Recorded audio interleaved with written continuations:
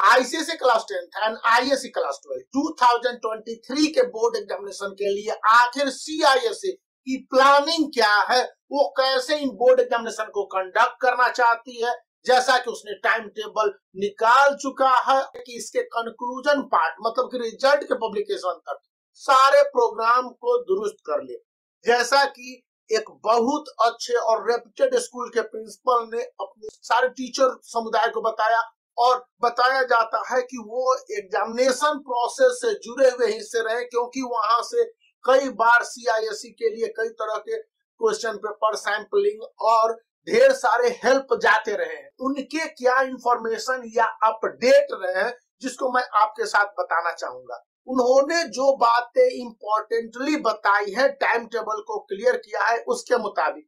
सबसे पहले सीआईएससी की प्लानिंग है कि आईएससी क्लास ट्वेल्थ के एग्जामिनेशन जो लंबा खींचेंगे आईसीएससी क्लास टेंथ की तुलना में। इनको शुरुआत करने के साथ ही देश भर से 5000 से ज़्यादा आईसीएससी के जो इवेल्युएटर सब्जेक्ट स्पेशलाइज्ड है, उनको लगाया जाएगा बैक टू बैक एग्जामिनेशन शुरू होने के within a week copy की चेकिंग का काम शुरू होगा। यही काम और यही बात आईएससी क्लास ट्वेल्थ के स्टूडेंट के साथ भी होगी कि एक तरफ़ उनके एग्जामिनेशन चलते रहेंगे और दूसरी तरफ़ कॉपी की भी चेकिंग होगी। इसका क्या मतलब हो गया? स्पष्ट सी बातें हैं कि बोर्ड एग्जामिनेशन चलने और उनकी कॉपी की चेकिंग होने का मतलब सीधा सा है कि रिज़ल्ट सबसे पहले आने की सीआईएससी की अभी के समय में प्लानिंग और वही उसका मंतव्य है।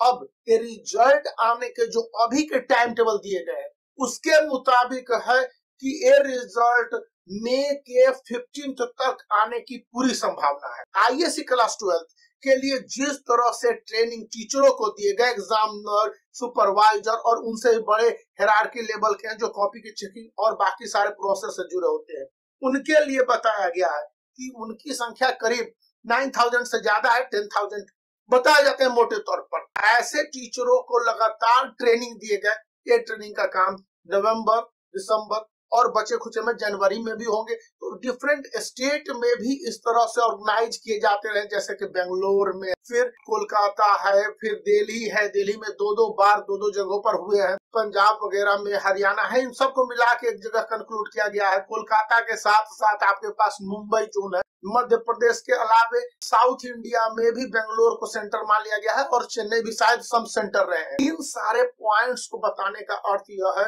कि एग्जामिनेशन होने के दौरान एग्जामिनेशन होने से पहले और एग्जामिनेशन होने के बाद बोर्ड एग्जामिनेशन के प्रोसेस होंगे। उसमें यूनिक आईडी और इंडेक्स नंबर सबसे ज़्यादा मतलब कि इंपॉर्टेंट भूमिका अदा करने वाले हैं। इनका मतलब हो गया कि अगर इनमें स्टूडेंट ने किसी तरह का मिस्टेक किया है अपने आंसर सीट में, जो अपना पूरा डिटेल भरते हैं तो ऐसे में स्टूडेंट के रिज़ल्ट रुकने की संभावना बनती है। इसलिए इसको कंफर्म कर ले और अपने नाम, अपने फादर के नाम मदर के नाम, जितने भी डेट ऑफ़ बर्थ के साथ साथ अन्य सारी डिटेल है, इनको कंफर्म करने की बात स्कूलों से भी कही गई है। साथ में एक और बातें कही गई है टीचरों से कि वे जब एग्जामिनर और इवेलुएटर होने के बाद से पहले इन्विजिलेटर होंगे तो इन बातों को कंफर्म करें कि कोविड सेफ्टी प्रोटोकॉल को फॉलो करते हुए स्टूडेंट ने सारे डिटेल भरे।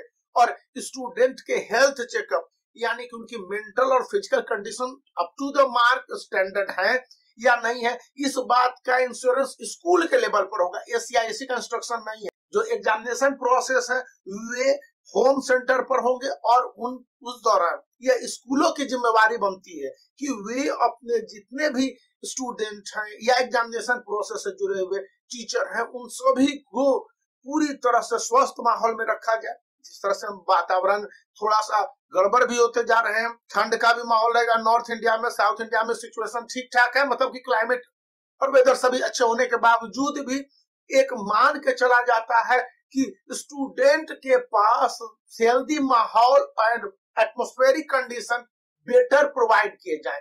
स्टूडेंट टीचर्स और एग्जामिनेशन प्रोसेस से जुड़े हुए जितने भी स्कूल है, उन सभी को सेफली सिक्योरली क्वेश्चन पेपर के पहुँचाए जाने, आंसर सीट को देने और आंसर सीट के बाद स्टूडेंट के जो भी आंसर सीट कलेक्शन है और उसके एक जो होम सेंटर होंगे, वहाँ से पर्टिकुलर सेंटर में डिस्पैच के लिए गाइडलाइंस उसी दौरान मिलेंगे। यानी कि सीआईएससी कम्युनिकेट करेगी अपने लोकल जो सेंटर के थ्रू है और इसने देश भर में कई लोकल सेंटर बनाए हुए हैं। यानी कि स्थानीय सेंटर देश भर में बांटा हुआ है।